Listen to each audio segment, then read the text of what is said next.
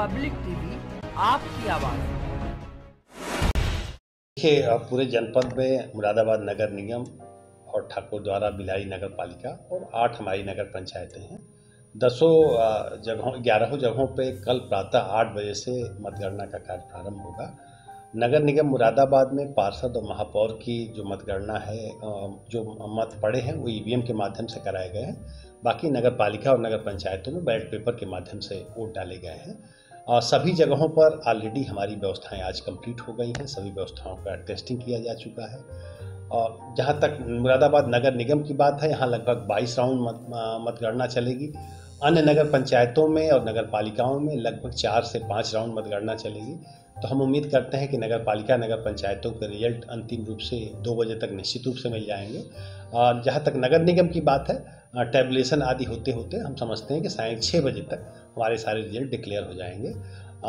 जो सुरक्षा व्यवस्था की अगर हम बात करें तो हमने थ्री त्रिस्तरीय व्यवस्था करी है, आउटर गार्डन, इनर गार्डन और जो हमारा मतगणना पंडाल है, और वहाँ पर आवश्यकता अनुसार पुलिस बल भी लगाया गया है, मजिस्ट्रेट्स भी लगाए गए हैं, और वो निरंतर सारी स्थितियों पर निगाह रखेंगे हमारे मजिस्ट्रेट, और जैसा आवश्यकता होगी उस तरह का वहाँ पर निर्णय लेंगे।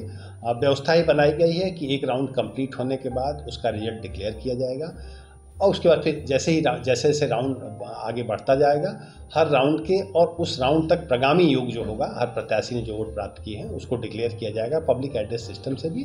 और इसको तत्काल शहरवासियों की जानकारी के लिए मीडिया पर्सनस को भी जैसे ही हमारे रिटर्निंग अधिकारी हस्ताक्षर कर देंगे रिज़ल्ट सीट पर राउंड वाइज उसको मीडिया कर्मियों को भी दिया जाएगा, जिससे शहरवासी, जनपदवासी भी परिणामों के बारे में जानकारी रख सकें और उनकी उनकी जो जिज्ञासा है, उसको हम उसका समाधान कर सकें।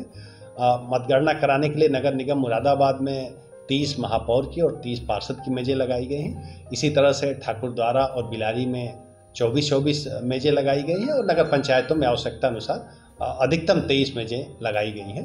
तो सभी जगहों पर हम लोगों ने चाक चौबंद व्यवस्था की है। लगभग एक हज़ार हमारे कार्मिक इस मतगणना कार्य में लगे होंगे, जो मतगणना पर, की प्रक्रिया को पूरी करेंगे।